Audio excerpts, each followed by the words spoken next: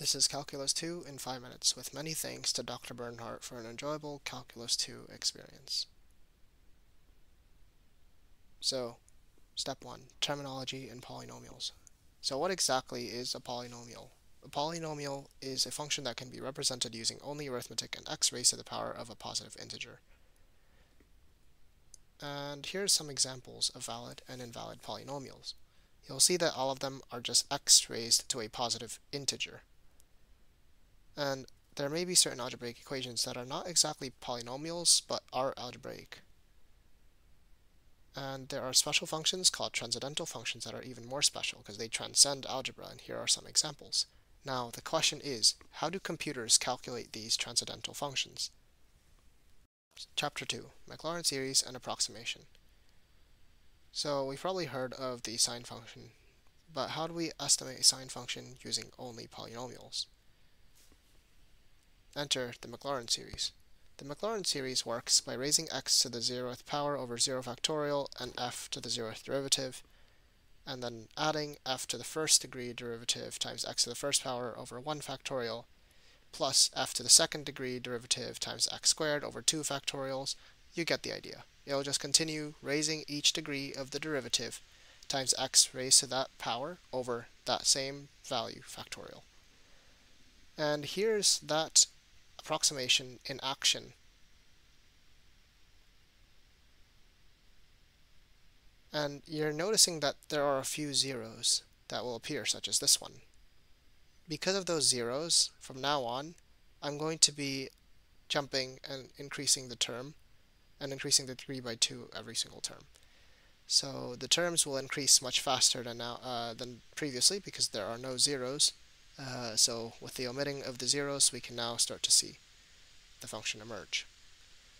Now you'll notice that with each term added, x is increasing by 2. And it also starts off at 1 in terms of the factorial, as well as the powers. So the power and the factorial is 2n plus 1. We're also noticing that negative 1 to the power of n will give us that alternating plus and minus. Now I want you to try to solve for the following equations. And now, pause the video, memorize this, and write this down because this is important. Chapter 3, Special Integrals. So are all functions integratable? So I want you to now integrate the following, cosine x squared dx, and you'll quickly realize that this is impossible. Uh, well, sort of, because you can probably see where I'm headed with this. I want you to recall the Taylor series for f of x of cosine of x. If you replace x with x squared, simplify it, and then add 1, because that's how you take an integral of something, and divide by that new power, and also don't forget your plus c, you have the integral. So this is how you do it. So write down the following, because uh, it's important as well. And now I want you to go ahead and try to solve for the following. Did you get this? If so, you're correct. Let's move on. This is chapter 4, Converging versus Divergence. So on the topic of summations, we're going to learn to solve some summations. And these summations go to infinity. So let's rewrite the summation in this format. We'll quickly see the association between some of the variables. And notice how r is between negative 1 and 1. That will converge.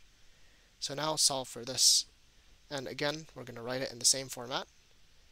And because 3 is outside of the range of negative 1 and 1, we know that this function will diverge. And lastly, let's go and find the sum. Um, so let's go and bring up this problem and rewrite it in the following format.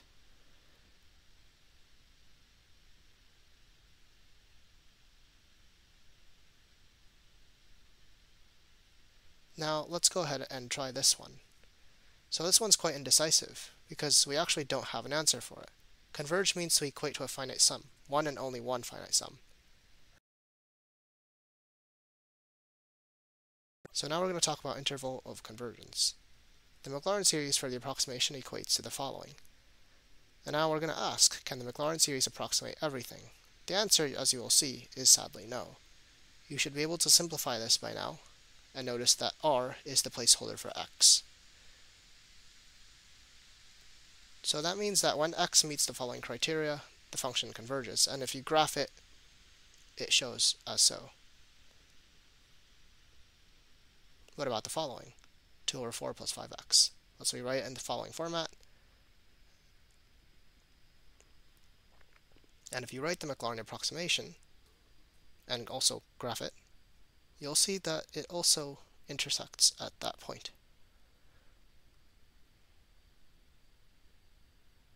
And x will only satisfy the above constraint only when the following criteria is met. And lastly, ratio test. So sometimes you may need to solve the following. Now, how do we know if this converges or diverges? Well, you take n plus 1 over n.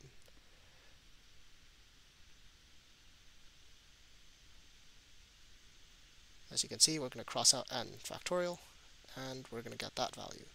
Plugging in infinity will give you 1 over infinity, which will yield a 0. And because r is 0, it will converge.